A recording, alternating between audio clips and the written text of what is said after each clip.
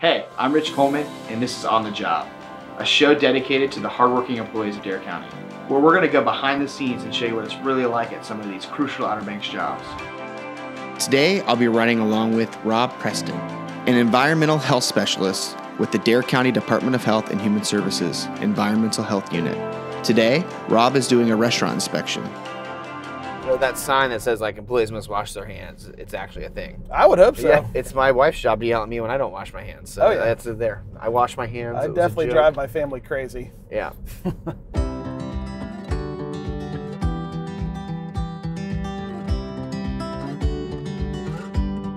How long have you lived on the Outer Banks? Uh, well, you know, obviously grew up here, went to Wilmington for 11 years, and then Colorado for a year. So we've been back for about eight years now. I got you, but you're local, born and raised here. Mhm. So, what type of things do you look for when you're inspecting a restaurant? Um, anything that could get someone potentially sick. We're looking for temperatures, making sure cold temperatures, hot temperatures, cooking, reheating, thawing, cooling. Temperatures are a big part of it. Also, the sanitizing, making sure we're sanitizing our food contact surfaces, our dishes, um, all things like that. Looking for cross contamination and making sure people, you know, washing their hands and doing it correctly. Um, making sure no one's in the kitchen sick. Um, you know, people don't want to call out because they don't want to miss any hours, but if they're sick, they really need to stay home. So we're looking for things like that. And then, of course, just general cleanliness and maintenance, uh, making sure all our equipment's working properly.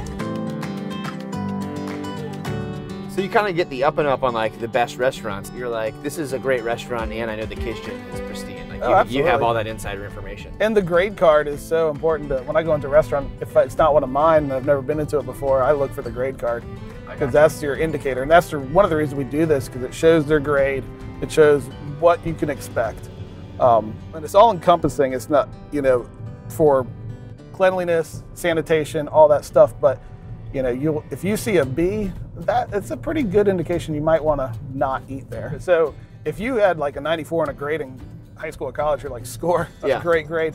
If you see 94 in a restaurant, uh, that's not that good of a grade, honestly. Okay. It doesn't mean that I wouldn't eat there necessarily, but they have some issues.